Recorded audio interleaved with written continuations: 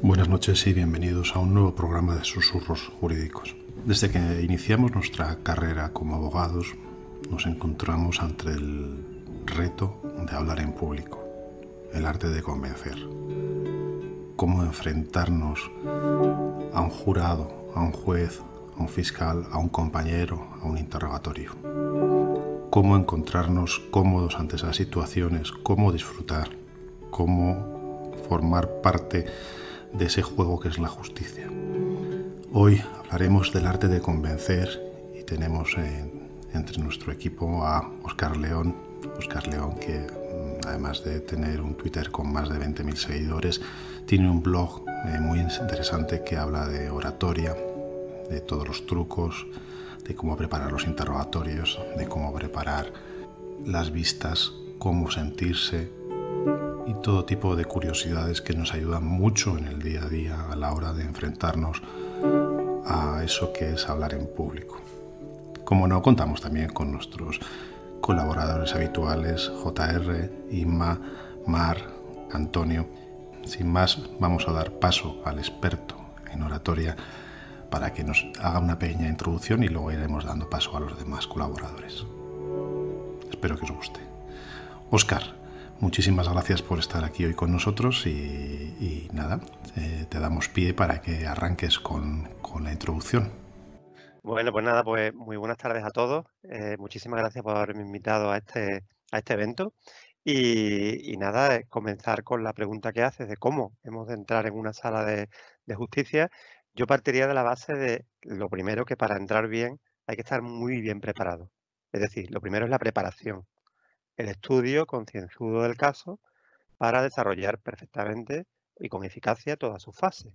Eh, la fase de interrogatorio, la fase de prueba tal, y la fase de, del alegato y conclusiones. Por lo tanto, primer punto, mm, preparación. Sin preparación ya puedes hacer todo lo que vamos a hablar a continuación que no te vale para nada, salvo para hacer el ridículo en un momento dado. ¿eh? O sea, hay que estar muy bien preparado. Entonces, eh, de las distintas alternativas que hay de cómo entrar eh, en una sala para sentirte muy motivado y de que creo que se van a hablar aquí de, más de una, yo mm, plantearía las dos que, he trabajado más y que me encuentro súper cómodo con ellas. Uno es la visualización. La visualización es el día del juicio, justo el día en el que se celebra el juicio o el día anterior, pero mejor ese mismo día por la mañana, te sientas en un lugar tranquilo, en un lugar en silencio, en un lugar eh, en el que nadie te moleste y te relajas y empiezas a visualizar el juicio en el que tú vas a asistir. Te imaginas la sala de justicia, te imaginas el juez, te imaginas al fiscal y te imaginas a ti defendiendo el caso. Y defendiéndolo de una forma absolutamente brillante. Entonces eso lo hace, es un proceso de pensamiento, incluso con una pequeña sonrisa en el rostro mientras estás pensando en esto. ¿Y qué consigues con esto cuando termina el proceso? Naturalmente esto tiene un montón de pasos, lo he simplificado mucho, pero ¿qué gran ventaja tiene esto? Que lo estás viviendo ya por anticipado. Es más, si conoces la sala, conoces al juez, conoces al fiscal de vista, etcétera, etcétera, pues ya es que lo estás viviendo, pero de una forma verdaderamente duplicada. Y cuando vas al acto del juicio, ya como que has vivido previamente esa experiencia. Además, la has vivido de una forma brillante. ¿Qué va a ocurrir? Puede ocurrir que sea igual de brillante, que, que salga todo mal, etcétera, etcétera. Pero lo cierto y verdad que vas con mucha más confianza y entras con más confianza en el acto del juicio. Yo os aseguro que esto lo he hecho. No lo hago en todos los juicios, pero sí en juicio importante me preocupo de visualizar. Esa es una de las cuestiones. Otra de las cuestiones es lo que le llaman las posturas poderosas. Esto es una cosa curiosa que ha escrito mucho eh, eh, Amy Cute, que es una, profesora de, una universidad eh, norteamericana, que ha llegado a la conclusión de que las posturas físicas, las posturas físicas poderosas, posturas de éxito, influyen en nuestro pensamiento y nuestro comportamiento, aumentando nuestra autoestima, aumentando nuestra capacidad de reacción positiva ante los eventos. Es muy empleado en, por ejemplo, intervenciones públicas, hablar en público o cuando te van a examinar para una entrevista de trabajo. Entonces, esto consiste en cuatro o cinco posturas poderosas que ahora no, las vamos a hacer porque como esto es, eh, es sonido, es radio, pues no... Pero existen unas posturas de triunfador que si tú las realizas antes de cualquier evento durante dos minutos seguidos, en tu casa, en el servicio del juzgado, donde tú quieras, pero que no te vea nadie, por supuesto, porque algunas llegan a unos extremos que son irrisorios. Pues bueno, esas posturas lo que hacen es que cuando tú entras en sala, entras hipermotivado, porque ha despertado una serie de cuestiones neuronales en ti que hacen que tú te sientas mucho mejor. Todas las posturas que conlleven expansión, ofrecerse, ampliar el cuerpo, ampliar el espacio que estás ocupando, etcétera, pues son posturas poderosas. Podéis verlo perfectamente, hay una charla TED que dura unos 15 o 18 minutos en la que, lo voy a decir cómo se escribe, Ami Kudi, Kudi, Ami Kudi, pues nos habla de las posturas poderosas y es extraordinario. Os aseguro que en alguna ocasión lo, he hecho, especialmente cuando doy una charla, una conferencia, un curso. Antes, naturalmente, lo hago en un sitio privado porque son dos minutos obligatorios cada postura. Puede hacer una, puede hacer dos, pero la verdad que funciona. Y luego, evidentemente, esto nos lleva a que cuando entres en, el, en sala, pues es muy importante, como, como habéis dicho antes en la charla previa, que cuando entres en sala, pues que transmitas, transmitas seguridad, confianza, porque eso se interpreta de forma inconsciente por el auditorio, por el juez, por el abogado contrario, por el tribunal, por el jurado. Si entras apocado, entras con el cuerpo reducido y tal, tal, ya estás dando, digamos, estás restando puntos sobre tu credibilidad. Sin embargo, si tú entras con una postura firme, seguro de ti mismo, un saludo a todo el mundo educado, correcto, etcétera, pues estás ganando.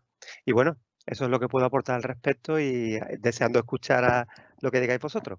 Me ha pedido la palabra Mar, pero voy a enlazar, ¿vale, Mar? Si me permites. Better Call Saul la serie, en la primera imagen de la serie, o la primera escena, es él en el baño preparándose con movimientos para entrar en, la sala y entra con un poder y una fuerza impresionante. Os la recomiendo porque a mí me, hace mucha gracia toda la escena, no hay que verla entera. ¿no? Y luego las visualizaciones famosas, los que tenemos perro las hacemos paseando al perro. Es decir, muchas veces por la noche, por la noche vamos dando un paseo largo y yo los interrogatorios los voy imaginando en, esos paseos muchísimas veces y, es sorprendente el, efecto que, tiene. ¿no? Pero bueno, Marta, eh, Mar, perdón, te paso, ¿vale? No sé quién es Marta. Venga, Marta, adelante. Buenas tardes, Oscar, y de verdad muchísimas gracias por estar aquí como siempre. Es que da gloria escucharte porque es que eres un maestro de sala y lo digo, no me canso de repetirlo. No me canso de aprender de ti. Yo mm, realmente a mí lo que más me sirve cuando voy a sala es la preparación. O sea, el tener el tema preparado a mí es lo que más seguridad me da. Yo si, si alguna vez tengo que ir, que muchas veces nos pasa con lo que yo llamo juicios express, y en penal sobre todo, y en oficio mucho más, que vamos allá a la buena de Dios muchísimas veces, la verdad es que a mí eso sí me pone nerviosa, porque aunque controles la parte procesal, aunque controles la sala y aunque controles el juzgado, estás fallando en lo básico. Entonces, es difícil que puedas tener salidas cuando no conoces el tema. Luego, a mí, mm, una de las cosas que más me motivan, no son las series ni las películas, porque ya sabéis que soy difícil de, retener en la mente con, las películas y las series, ah, pero a mí una, os prometo que de las cosas que más me motivan es ponerme la toga. O sea, yo siempre lo digo, yo me pongo la toga y me transformo completamente, completamente. Y la sonrisa. La sonrisa para mí en sala es básica. A mí se me verá muy pocas veces cabrea, lo estoy, pero lo estoy por dentro. Yo creo que, son las dos herramientas que a mí más me, más me motivan cuando llevo el juicio preparado, cuando no. Y luego otra de las cosas que yo veo básica y que siempre intento controlar es la respiración, en sala y antes de entrar a la sala. A mí la respiración, el controlar la respiración es lo que me hace, lo que me da la seguridad, el, poder usar las pausas. Eh, y mirad que yo me atropello hablando. En sala soy todo lo contrario soy súper pausada y precisamente me pauso para poder coger la respiración. Yo, yo considero que eso, que eso es básico, pero sobre todo yo diferencio mucho los escenarios en las jurisdicciones. Yo no entro igual cuando entro a un juicio de familia que cuando entro a un juicio penal. Yo cuando entro a un juicio de familia voy mucho más dulce, siempre, siempre, porque entiendo que la materia que se tiene que tratar ahí, o sea, ahí no hay, ahí hay contrarios con situaciones muy complicadas pero realmente en igualdad de condiciones. No, no, no, yo no tengo que sacarle a nadie, es distinto a cuando voy a un penal o cuando vas a un civil. Irma, eh, te voy a dar paso. Yo creo que la, toga es básico. Eh, a todos, cuando nos ponemos la toga, nos transforma porque la imagen del, cliente que nos ve con la toga le transforma también el concepto que tiene de nosotros. Yo eso cuando empecé a ejercer eh, lo notaba muchísimo. No sé, Irma Casientes, ¿qué opinas de esto? Yo, mira, hoy mismo en Twitter lo decía y, y, el otro día en mi primer juicio después de todo esto que hemos pasado, yo me fui a Madrid cargada con mi toga que no me pude poner porque por respeto a la compañera que no se le iba a poner, yo no me puse la toga, pero yo me fui cargada con mi toga y solo gastar no sin mi toga. A mí me pasa como a Mar, me parece que la toga es como son los superpoderes, es lo que me da la tranquilidad, tengo alguna manía más, ¿eh? hay un, anillo que utilizo mucho según el juicio que es o algún tipo de boli. O sea, yo tengo, yo tengo manías de ese tipo, ¿eh? cosas que me, que me, dan seguridad o colores, por ejemplo. También utilizo mucho colores según la jurisdicción que es. Aunque yo voy muy de, muy de negro, también es cierto que utilizo mucho el rojo o otros colores según veo la necesidad de atención de, de la otra parte o la seguridad que me den eso, ¿no? Pero es verdad que yo sin la toga, estos días cuando estoy celebrando, me veo, me veo muy rara, me, me siento mal. Yo que no utilizo traje de chaqueta para ir a al jugado, al final estoy utilizando traje de chaqueta negro, por tener esa sensación de, toga con el calor que está haciendo. Eso una parte. Luego otra, mm, yo es cierto que quizás como preparo, me, coincido con todos vosotros, a mí la seguridad me la da como me he preparado el juicio. Y yo en esto no sé si soy un poco rara. Yo me pasa un poco como Willy, pero no paseando al perro. Yo realmente lo hago dormida. Esto no sé si es normal o no, pero yo ya estudiaba así y lo he mantenido. O sea, yo preparo el juicio, lo preparo muy bien, lo escribo todo, no sé qué, pero luego yo cuando hago la visualización normalmente la hago antes de irme a dormir, me relajo, me tranquilizo. Yo me lo pienso, como dice Oscar, me, imagino todo el escenario, pero la realidad es que luego, cuando me duermo pensando en eso, muchas veces me despierto con la sensación de que he hecho todo el juicio durante el sueño y muchas cosas que no se me habían ocurrido cuando lo he preparado, en alguna ocasión se, me ha, se, me ha, ocurrido cuando, cuando me he despertado, he dicho, esta pregunta no la has hecho y por aquí creo que va a ir la otra parte. No sé si soy normal o no, pero, pero sí, sí, me, sí me pasa mucho, ¿eh? lo, lo hago casi siempre así y luego para entrar en sala, pues lo que dice Mar, también coincido. Yo siempre llevo la sonrisa y unos tacones. a, mí los tacones me dan, me dan seguridad entonces, normalmente ir al juzgado sin tacones pues no es normal y eso que tenemos un suelo que nos podemos matar en Cáceres, pero yo voy con tacones y siempre con una sonrisa, siempre saludando a todo el mundo, colocándote en tu sitio y como dice Mar también, dependiendo de la jurisdicción, pues evidentemente en penal uno está más serio. Tienes como la sensación más de tensión que en, que en otras jurisdicciones que son, que son mucho más, no sé si dulces como dice Mar, quizás mm, la posición de todos en esas circunstancias es facilitar las cosas. En laboral, por ejemplo, también me pasa mucho que como llegamos mucho a acuerdo y sabes que estás en una jurisdicción que además es mucho más fácil introducir cualquier tipo de tema sin tanto formalismo, ahí me relajo mucho más. Te doy paso, le voy a dar paso a Antonio, pero los abogados igual en la ropa no somos tan maniáticos, pero sí en las corbatas. Eh, en función de si queremos dar una imagen suave, una imagen, imagen dura o, algo. Por lo menos yo me pongo una corbata rosa o una corbata negra o una corbata eh, de un color o si quiero simplemente eh, tener la tranquilidad, hay una corbata que, es estandarte y la llevo siempre por, por, costumbre. ¿no? No sé, Antonio, tú qué, qué opinas de, de, todo esto. Fundamentalmente, yo como vosotros me amparo en el trabajo. Evidentemente, cuanto más me preparo un caso, más tranquilidad eh, tengo en los días anteriores y más tranquilidad tengo el día del juicio. Además, en mí concurre un pequeño, voy a confesar un pequeño secreto, soy una persona muy, muy perfeccionista, ¿no? Entonces necesito trabajar, trabajar mucho el caso para, para tener seguridad, ¿no? Estábamos viendo cada uno las formas en que nos ayudan o, las pequeñitas manías que tenemos en que nos ayudan a tranquilizarnos, ¿no? A mí me pasa fundamentalmente, Guille hablaba de, pasear al perro y, Óscar hablaba de, las posturas, bueno, pues porque le producían ciertas conexiones neuronales, ¿no? A mí me ocurre con el deporte. Yo antes de hacer un juicio, cada mañana necesito hacer deporte. Me crea una serie de conexiones neuronales, me genera muchísimas endorfinas y me genera mucha energía mental me genera mucho poder mental y eso me produce, me produce tranquilidad. Tengo que reconocer también, y eso me produce tranquilidad porque le pasa a los grandes actores, aunque yo no sea un gran abogado, y es que a pesar de llevar 32 años en ejercicio, eh, sigo entrando en la sala con los nervios en el estómago. Evidentemente no es la misma cantidad de nervios, depende del juicio, pero sigo, sigo entrando, ¿no? Y entonces esa es una sensación pues que he aprendido a controlar, pero la sigo, la sigo manteniendo, ¿no? Tengo también un pequeñito, un, pequeño truco que necesito, necesito hacer, ¿no? y es poquito antes de, que sepa que voy a entrar, tres, cuatro minutos, pues a los clientes les, digo que, que, voy a repasar unas cosas y tengo la costumbre de sentarme solo y en ese momento visualizar yo solo lo que va a pasar dentro. Y me produce una sensación bastante grande de, tranquilidad, ¿no? A partir de ese momento, y como hablaban Mar y Inma, ese momento, justo con el momento de ponerme la toga, que suele ir unido, me suelo sentar ya ahí con la toga puesta.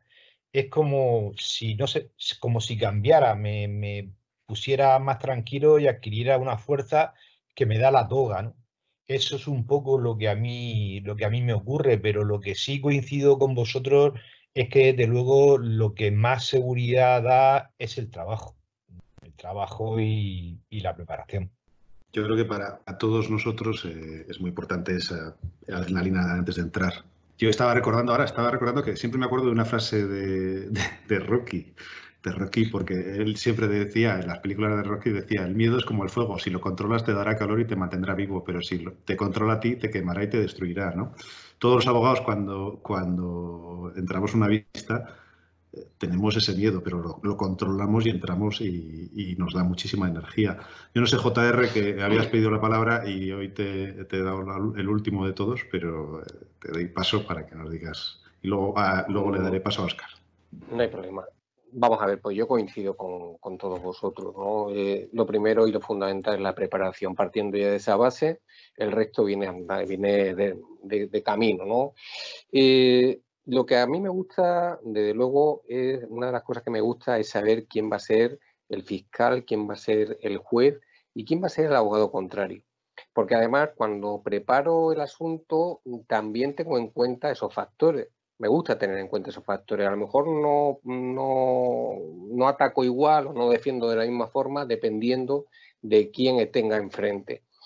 Y después, en el, día del juicio, el día del juicio, justamente antes de entrar, Antonio se sentaba. A mí eh, me veréis, los que me conozcan ahí en el foro, en Cáceres o en cualquier otro lado, me veréis pasear. Pasear por unos pasillos enormes y yo voy paseando sin hablar con nadie.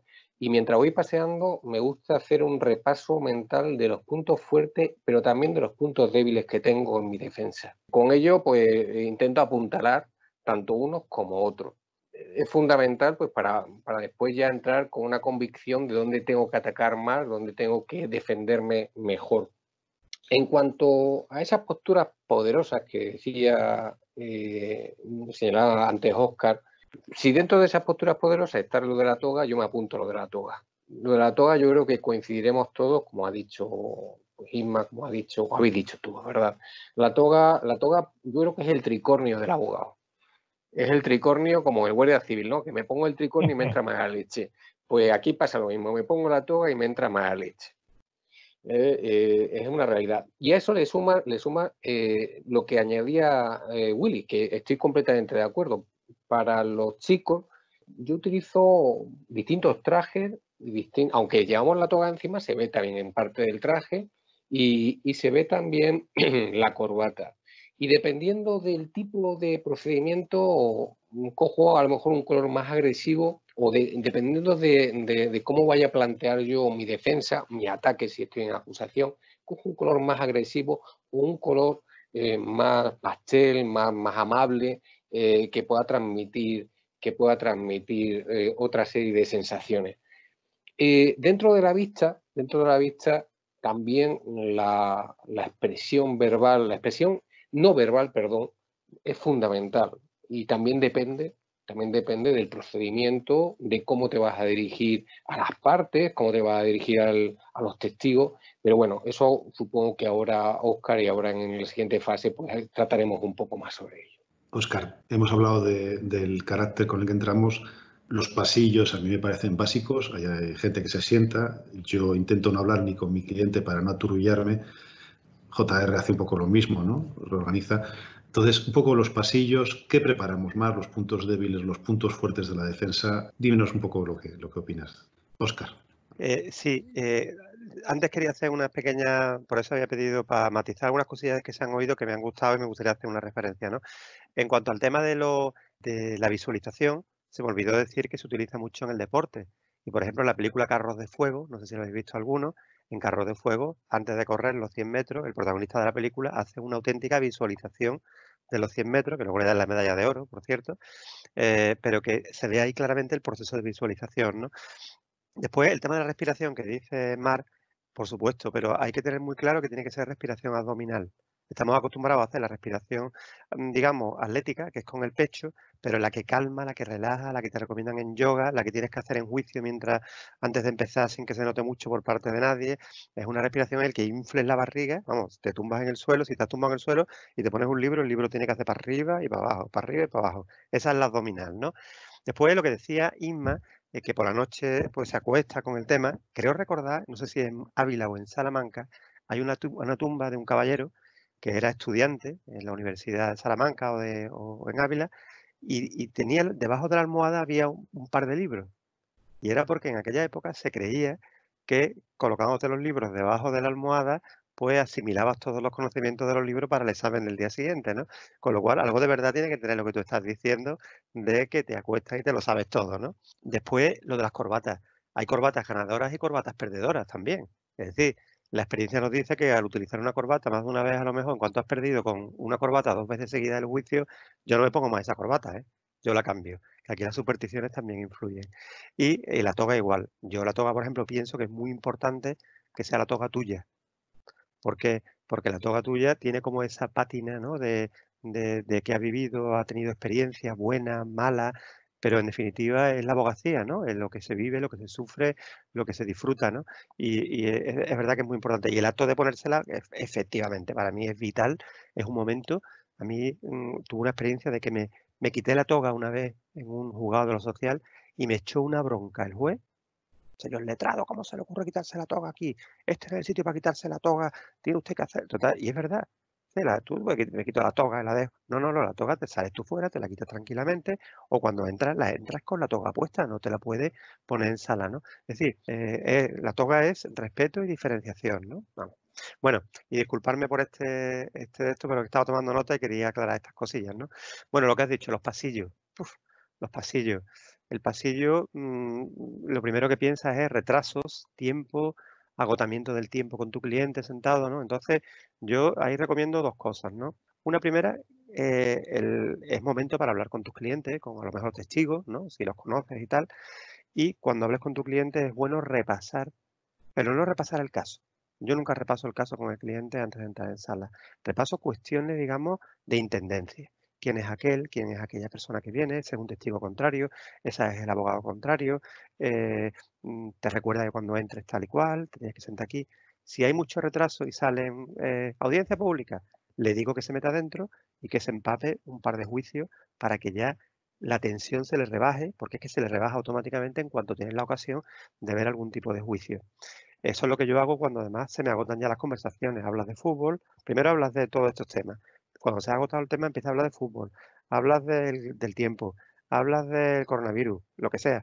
Y ya llega un momento que no sabes qué hablar. Pues lo metes dentro del juicio y te quedas tú solo descansando, haces llamaditas, lo que sea. Hoy en día es muy importante llevarse un iPad, llevarse un portátil, el teléfono móvil, lo que sea, para ir trabajando, ir haciendo cosas mientras tanto, porque es que desde luego es una situación eh, bastante complicada los tiempos de espera que estamos viviendo ahora. ¿no? Así que eso serían mis recomendaciones. Mar, cuéntame. A ver, venga, el tema pasillo, el tema pasillo. Mm, a mí me llama la atención porque os he escuchado a todos y todos decís que necesitáis repasar antes de entrar en sala. Unos solos, otros... Y yo es al revés. O sea, yo ni quiero estar sola, ni quiero saber nada del tema que voy a tratar en sala. Yo directamente me quedo siempre con los clientes. Si la, larga, la espera es larga y ya veo que se me va eh, que se va, se van los temas de conversación, pues tengo una técnica, un pequeño truco, que es que siempre digo, bueno, me voy a meter en sala para ver cómo va, para ver cómo va este juez. Entonces ya me meto dentro, pero por lo habitual yo me quedo dentro.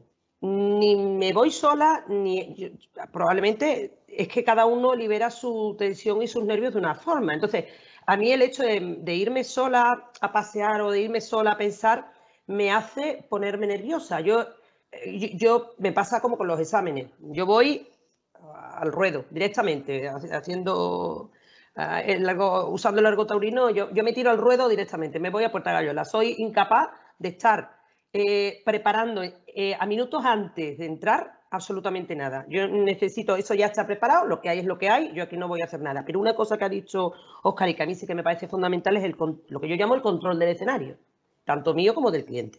Creo que también JR ha hablado de eso. Yo necesito saber cómo es el juez, cuál es la sala, eh, mm, absolutamente todo, quién es el fiscal. Eso a mí me tranquiliza mucho y además mm, suelo, antes de entrar en sala, hacer eso con el cliente, decirle, pues mira, este es bueno, te va a admitir que hables de esta manera, ten mucho cuidado porque te va a cortar, no pienses que va contra ti, el fiscal no es alguien que vaya contra ti. Eh, lo que yo llamo control del escenario, para mí eso es muy básico también. No ya, eso ya no es por tranquilizarme yo, porque al final los que, vuelvo a largo taurino, los que toreamos, toreamos en cualquier plaza, pero no es lo mismo saber a lo que te estás enfrentando que, que a lo que no. Lo de la respiración abdominal, Oscar, me encanta, pero a las mujeres eso de hinchar la barriga, ni en juicio. lo tenía que decir, lo tenía que decir. y luego otra cosa, yo mm, me pasa con los juicios como con las listas de las compras, si me permitís la comparación.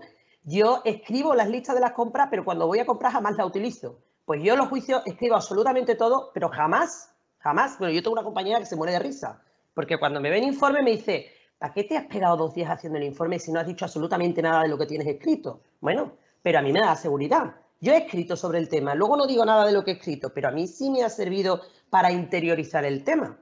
Y esa es mi técnica. Por concretar un poco lo que estábamos terminando, de cómo entramos y no entramos, cosas que coincido.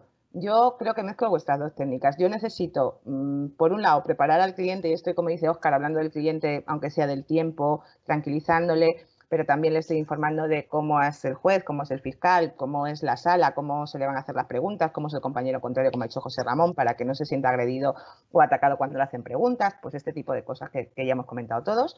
Y luego, por otro lado, también necesito ese momento de tranquilidad, que yo utilizo el truco de un segundo que tengo que repasar una cosa y colocar los papeles. Pero ahí me pasa como acaba de decir Mac. Y cuento una anécdota mm, rápido. En mi examen de la Escuela de Práctica Jurídica, yo elegí penal eh, hice todo el asunto, yo iba tremendamente nerviosa en aquellos momentos, ahora lo piensas y es como de risa, pero en aquel momento para mí yo me estaba jugando la vida. Y cuando terminé, el presidente de la audiencia, que era uno de los que me examinaba, me miró y me dijo, y me hizo una pregunta, y me dijo, solo te voy a hacer una pregunta. ¿Has mirado alguna vez los papeles que has estado moviendo todo el tiempo? Y le dije, no. Y me dice, vale, pues te voy a dar un consejo. No lleves nunca escritas tus conclusiones. Acabas de dejar claro que no las necesitas llévate unas pequeñas notas, pero no vuelvas a hacer esto porque has dado una sensación de nerviosismo, porque te has pasado todo el examen moviendo esos papeles cuando se veía perfectamente que tú no los estabas leyendo. O sea, me pasa como a Mar. Yo escribo las conclusiones, me las preparo, pero luego nunca las miro. Entonces, intento cada vez más recortar incluso esas conclusiones a unas breves notas para no tener esa sensación luego de nerviosismo en sala cuando estás buscando alguna de las cosas que has, que has escrito antes. Y esto me lleva pues al siguiente tema que estábamos hablando, que es cómo nos comportamos en sala y lo que ha dicho Willy. Si nos preparamos más las debilidades o nos preparamos más nuestros puntos fuertes. Pues depende del asunto y depende de la jurisdicción. Pero yo normalmente, mm, no sé si coincidimos todos, lo que más me preparo son los puntos débiles del asunto, porque es donde puedo tener un problema. Entonces, eh, lo que, lo que tengo muy claro y lo que más o menos puede ser claro en un procedimiento pues casi que nos sale muchas veces mm, de tirón ya, porque, porque ya tenemos un recorrido en sala. Pero las debilidades, que es donde te pueden pillar, es lo que más me preocupa y eso es lo que más preparo conmigo misma y también con los clientes. Actitud en sala siempre, pues mm, postura recta, correcta, sobre todo, pues, a ver, seguridad hablando, yo, yo ahí tengo otro problema. Yo que hablo muy alto, y que normalmente tengo un tono muy agudo, mm, me di cuenta después de que tres veces me dijera un juez, señora letrada, hable más alto, que yo no hablaba bastante alto en sala, ya me pedí una grabación y ya me escuché a mí misma y dije, pues es verdad, no hablo alto en sala, modulo tanto la voz para cuando hago subidas y bajadas y lo hago además ya en piloto automático, porque volvemos a decir, pues ya tienes un recorrido en sala y ya tienes los tips, ¿no? Entonces, modulo tanto la voz que a veces hablo muy bajo. Entonces, eh, me preocupo mucho del tono, me preocupo mucho de la postura y me preocupo mucho de lo que he dicho. Los puntos débiles para cuando atacan, yo estar preparada. No sé vosotros si vais por el mismo camino o si tenéis alguna otra manía en sala. Sí, eh, ahora le voy a dar paso primero a Antonio, luego a JR respecto a los puntos débiles, eh, los interrogatorios. Una vez ya estamos en sala y tenemos los interrogatorios, los hemos visualizado seguramente muchas veces y hemos preparado las preguntas, pero lo más complicado de un interrogatorio es arrancar, creo. Entonces, Antonio, te doy paso y, nos comentas un poco. Vamos a ver, que es muy relativo, Willy. A ver, eh, el interrogatorio depende fundamentalmente de dos cosas. En qué consiste o las pruebas que hay de la persona que vayas a interrogar. Es que es complejo, tienes que tenerlo todo, todo en cuenta, ¿no? Entonces yo lo que procuro hacer es una mezcla de las dos, de las dos cosas, ¿no? Yo tengo, yo tengo la, suerte, porque es una suerte de que en sala me sé manejar bien, tengo, tengo empatía y sé más o menos por dónde puedo intentar manejar o no manejar a una persona porque tengo facilidad para ponerme la piel de una, de una persona, ¿no? No sé si es la experiencia o que simplemente me, me sale, ¿no? Supongo que será la, la experiencia, pero creo que es que depende de cada, mm, de cada caso, ¿no? Mm, generalmente, de todas formas, soy mm, de los que, como tú decías al principio de Teresa Campos, suelo empezar siempre interrogatorios de forma tranquila y conforme va cayendo un poquito en la red voy aumentando el nivel de las preguntas, ¿eh? pero es una forma muy general de hacerlo. Ya te digo que aquí no puedo decir nada en concreto porque primero tengo que ver todo lo que tengo delante, los instrumentos con los que tengo que trabajar y luego una vez que estoy en sala y veo cómo reacciona el testigo o cómo ha reaccionado antes, de esa forma reacciono yo. Esa es la forma que yo tengo de, operar. Sí, eh, Antonio, lo de María Teresa Campos lo he contado off the micro, pero lo adelanto, que Mm, una vez, eh, perdona, perdona. No, no, no, pero bueno, lo, tenía que encontrar. Eh, eh, una vez escuché que su técnica para entrevistar era ser muy agradable, muy simpática y empezar con preguntas abiertas para que el, entrevistado se relaje y abra y se abra. Claro, Guille, perdona que te interrumpa, es que cuando estudias táctica de interrogatorio es una táctica de interrogatorio, es decir, comenzar con preguntas suaves y poco a poco el testigo adquiere confianza y entonces conforme va adquiriendo confianza tú vas entrando a una zona que sea de menos, o sea, que sea menos confort, o al revés, puedes entrar a una zona de más confort, vamos, Oscar sí, sí, que es el experto absoluto, pero, pero existen las dos posibilidades o las dos formas. Mm. JR, cuéntanos. Bueno, yo vengo también a coincidir con, con, lo que se ha dicho. En la fase de interrogatorio, cuando se inicia los interrogatorios, cómo desplegar el interrogatorio dependerá de a quién vamos a interrogar si vamos a interrogar a nuestro cliente, si vamos a interrogar al contrario, a un testigo o a un perito. Y porque la forma de interrogar va a ser distinta. Y, precisamente hablando de, de, algo que Oscar que voy a señalar solamente, porque Oscar nos puede dar una lección magistral, como siempre hace al respecto, sobre las preguntas abiertas o las preguntas cerradas, dependiendo de a quién interrogamos, ¿no? Y también tengo en cuenta la materia, es decir, claro, si estamos en un ámbito penal, a lo mejor el interrogatorio es más hosco, más duro, eh, que si estamos en un ámbito de menores, de familia, en el cual pues a lo mejor intento unas preguntas a lo mejor más suaves, incluso también mi, mi, forma de, mi actitud hacia el interrogatorio, la forma, no solamente la pregunta, sino la actitud que voy desplegando eh, depende del camino que va tomando el interrogatorio. Depende también si quiero eh, dar un énfasis, ese lenguaje no verbal y el lenguaje verbal tiene que conjugarse bien y tiene que proyectarse tanto a la persona que está siendo interrogada como también al juez que está escuchando y está viendo. Y me gusta transmitir ese interrogatorio con ese lenguaje tanto verbal como no verbal. Antes también señalaba eh, Inma sobre eh, los informes. Yo creo que llevar los informes escritos eh, se suele hacer sobre todo cuando empezamos a, ejercer, ¿no? incluso las preguntas de interrogatorio.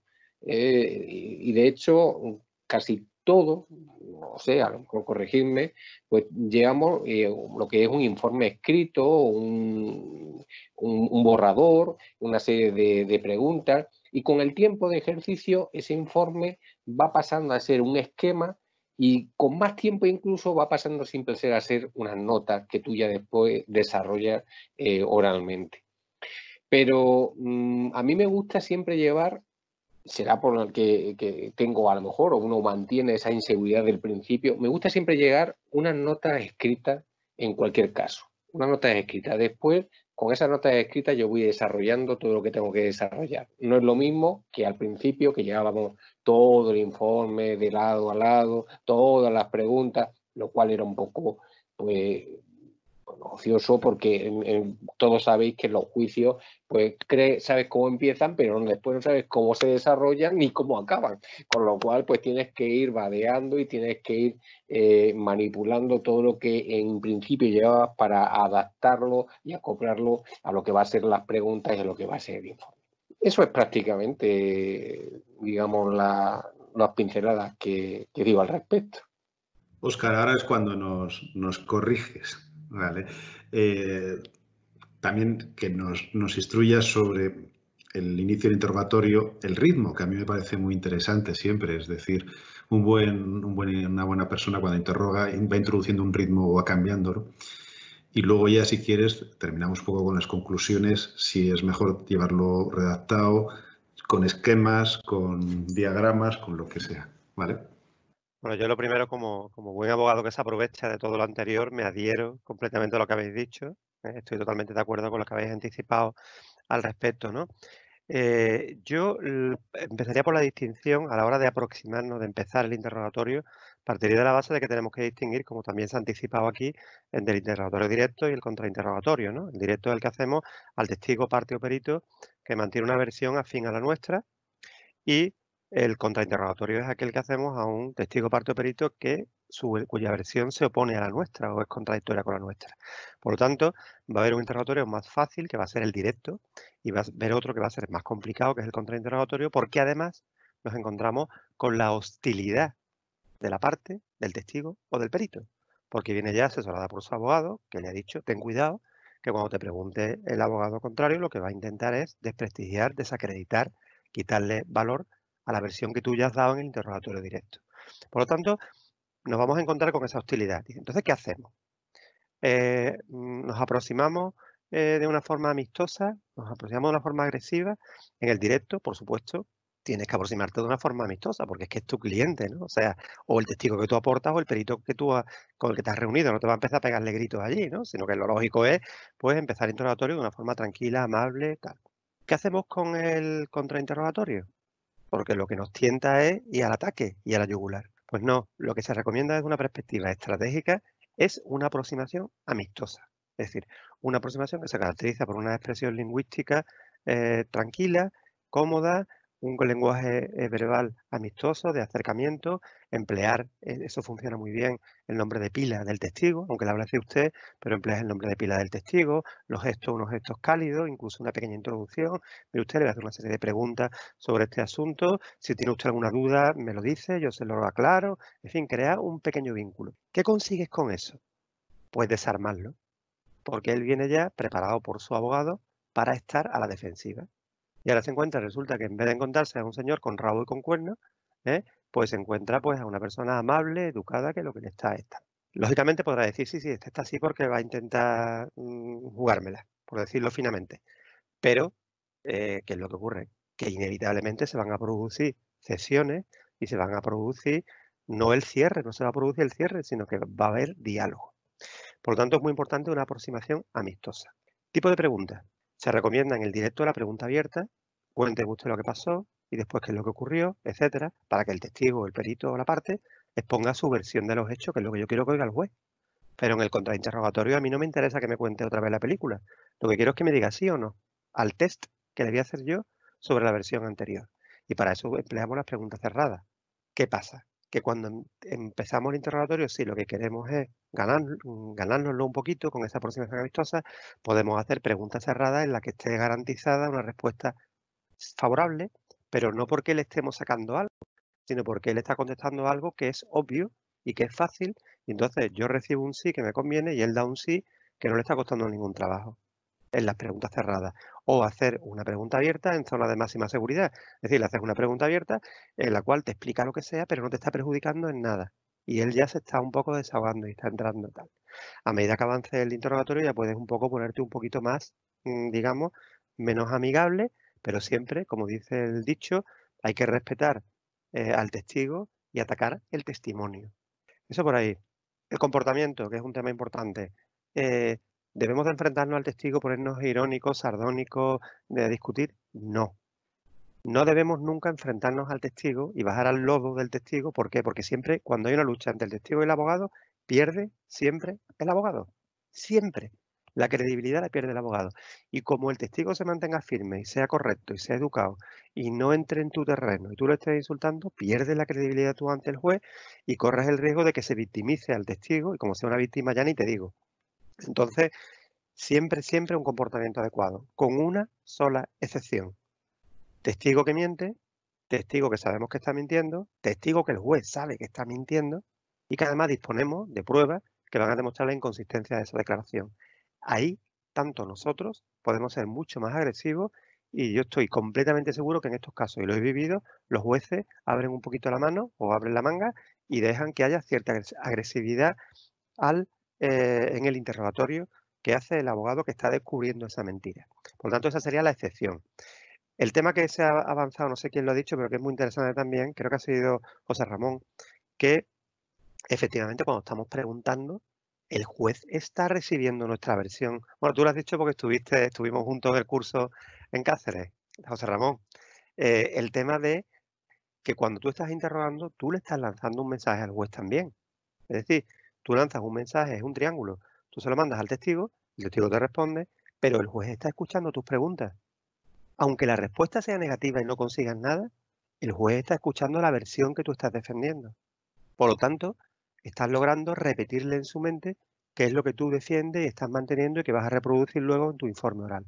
Por lo tanto, interrogar bien es muy importante, porque consigas o no el objetivo que te hayas propuesto durante el interrogatorio, el juez va a estar recibiendo una información que te conviene que la reciba de una forma asequible y adecuada. Eso es más o menos lo que yo diría del interrogatorio, ¿no? Aproximación amable, comportamiento siempre correcto y salvo las excepciones de la mentira. Y en cuanto al informe, estoy de acuerdo con lo que habéis dicho. Es decir, yo he hecho siempre mis informes, mis conclusiones enteritas, los cinco o seis folios al pie de la letra. Las he repasado, las he leído, las he releído, pero al final siempre he concluido con un guion, con las distintas partes en las que se estructura el discurso, sordio, división, narración, estructura, eh, refutación y epílogo, si queremos, y con los tres puntos clave. Y cuando llegas al juicio, obviamente lo que vas a hacer es que vas a expresárselo mm, mirando al juez y de vez en cuando vas a mirar un punto para saber que te valga de guía para poder exponerlo. Eso es así. Lo que pasa es que transmite mucha seguridad llevar ese guion o llevar incluso el discurso. Y en cuanto a las preguntas, una cosa que parece mentira, pero que es así, las preguntas no deberían de llevarse escritas. Deberían de llevarse los temas. O sea, yo voy a preguntarle sobre estos cinco temas. Y ahora dentro de esos temas tengo a lo mejor cuatro ideas que tengo que desarrollar. Eso es lo que hacen los abogados expertos. Es decir, van desarrollando temas. Pero si tú tienes las preguntas escritas, vas a perder el control del interrogatorio, porque a medida que tú lees, la, estás respondiendo, te pones a leer la siguiente, como hacen los periodistas cuando entrevistan, que están entrevistando y cuando cogen al periodista lo cogen mirando el papel mientras el otro le está respondiendo. No te estás enterando de la respuesta, con lo cual corres el riesgo de meter la pata a la hora de preguntar. Y, eh, y finalmente se había dicho algo del ritmo. El ritmo es muy importante en el interrogatorio directo. Cuando interrogas a tu testigo, a tu testigo, calma, pausa, parones, los que haga falta te adaptas completamente al ritmo del testigo. El testigo es un poco así pesadito, tranquilo, pues tú preguntas pesadito y tranquilo, que es un hombre que se expresa muy bien, muy elocuente, muy rápido, pues lo haces rápido, pero te adaptas al ritmo. Pero en el contrainterrogatorio tenemos que ser súper rápidos. ¿Por qué? Para que el testigo no piense. Y no pensemos, eso es una manipulación, porque si no quieres que piense, no, no, es que, es que lo estoy haciendo, le estoy haciendo un test de lo que haya dicho antes. Ya lo ha contado. Ahora me va usted a responder rápidamente a lo que le pregunte. Y entonces, si está mintiendo, va a saltar la mentira. Y si hay incoherencias, van a salir más fácilmente ante un interrogatorio rápido que uno corto. El corto le da tiempo a pensar, las pausas le van a dar tiempo a respirar. En definitiva, no hay que dejarlo, sea un testigo falso voluntario, falso involuntario o que está diciendo la verdad. Tenemos que utilizar la prueba del algodón de la rapidez. Y con eso, pues bueno, yo creo que ya estaría respondida la cuestión.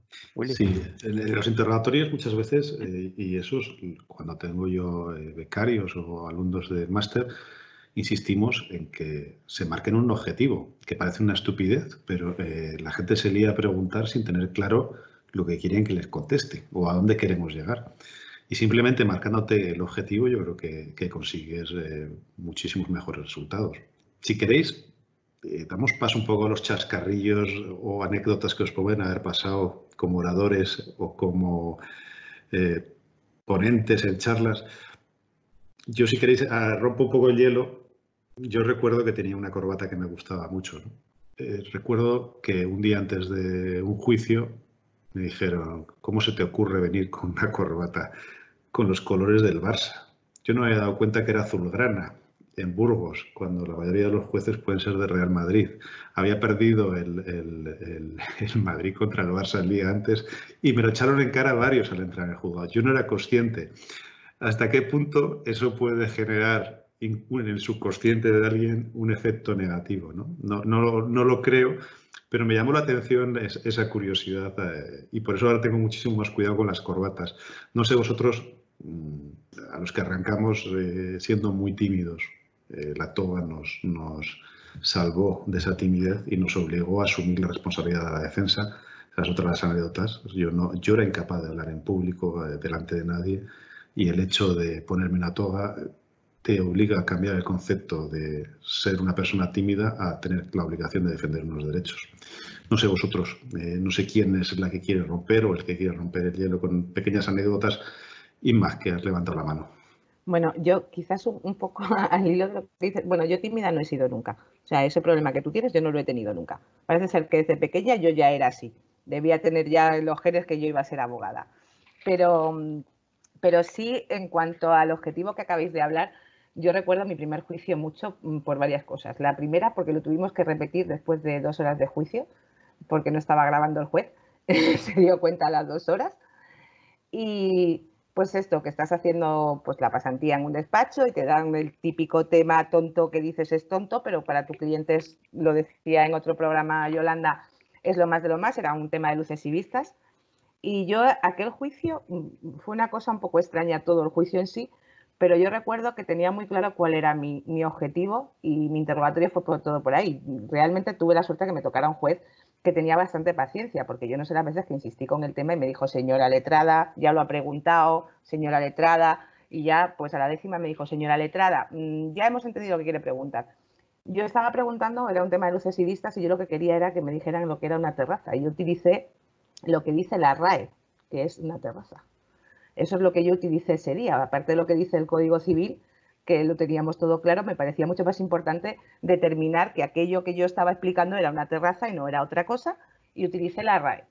De hecho, gané el juicio y de hecho el juez incluyó lo de la RAE.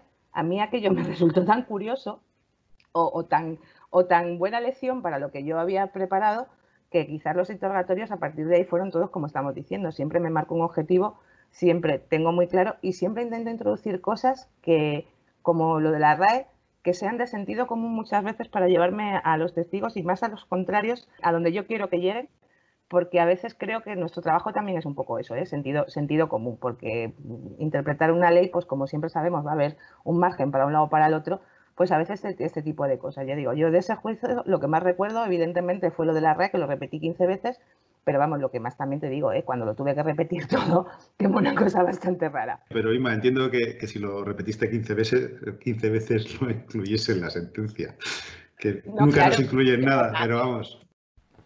Bueno, yo la anécdota a la que me voy a referir es una que me ocurrió en la audiencia provincial, en la cual eh, teníamos un juicio penal en el que interveníamos pues un total de, de seis, seis letrados, era cuatro cuatro abogados de la defensa, uno de la acusación particular y el Ministerio Fiscal. Resulta que cuando entramos en, sala, el presidente de la sala, muy serio, cuando estamos todos en silencio, pues dice, la corbata. Nos quedamos todos así un poco entre, entre serios y sonrientes, extrañados, tal. Se genera un silencio un poco violento. Vuelve a decir, la corbata. Todo esto muy serio, ¿eh? Y entonces, pues, eh, nos miramos todos la corbata, yo miro la mía, veo que es negra, Los demás compañeros, pues hago así de refilón, veo y veo que son de todo tipo, ¿no? Negros, de colores, etcétera, etcétera. El caso que nos encontramos en este momento de transición en la cual ya cesó la obligatoriedad de llevar corbata negra, aunque mí personalmente me gustaba llevarla. En este caso, tanto el fiscal como yo llevamos corbata negra. El caso que, como nadie decía nada, el fiscal eh, dijo, mm, mm, su ilustrísima, ¿a qué se refiere con el tema de la corbata? Dice, en mi sala todo el mundo llevará una corbata negra. Así que por favor, salgan de la sala, busquen una corbata y cuando dispongan de la corbata negra, reanudamos el, juicio. El caso es que salimos todos de allí, cada uno buscando una corbata, los que la teníamos negra nos quedamos allí en la, puerta pues charlando y tal, y al cabo de unos 20-25 minutos pues ya se completó el grupo, esperamos que acabara el, juicio que, que, estaba a continuación, que se había iniciado, volvimos con la corbata y no hubo ningún más incidente, se celebró el juicio y listo, ¿no? Esto es una anécdota que cuento muchas veces porque realmente demuestra, pues, bueno, los poderes de dirección del, presidente o el juez en, sala o en el juzgado, bueno, pues, pues tiene estas cosas y algunas, en algunas ocasiones pues, se producen estas anécdotas que al final fue una anécdota muy simpática y en la cual incluso nos planteamos la duda de si realmente había entrado en aplicación la modificación del Estatuto General, etcétera, etcétera. El caso que, bueno, eh, quedó en nada, celebramos el juicio y la corbata pues no tuvo ninguna influencia en el resultado, estimo. Pues muchas gracias a todos por vuestra colaboración en este programa, en especial a Oscar León. Nos vamos a despedir ya de, este nuevo, o de este último programa, de este cuarto programa, haciendo referencia a una película que a mí me, me, marcó bastante. Es... Eh, 8 millas de Eminem. Es una película que me introdujo en el tema de los rap, de las improvisaciones, de las peleas de gallos. En España podemos encontrar a Arcano y a otros muchos que eh, la verdad es que en YouTube puedes encontrar grandes batallas de improvisación. Cómo introducen temas, cómo van cambiando, cómo evolucionan. Es realmente espectacular. En 8 millas existe una batalla final que voy a hacer un pequeño spoiler. Para los que no lo hayáis visto, pues lo siento y podéis retiraros a este momento. Os voy a dejar el enlace de, las cuatro últimas batallas finales, pero sobre todo la que es a partir del minuto 8. Para mí es un ejemplo muy bueno de cómo es unas conclusiones en una oratoria, en, una vista judicial. en la batalla les dan un traslado para un minuto y medio para conclusiones o para pelearse a cada uno. ¿no?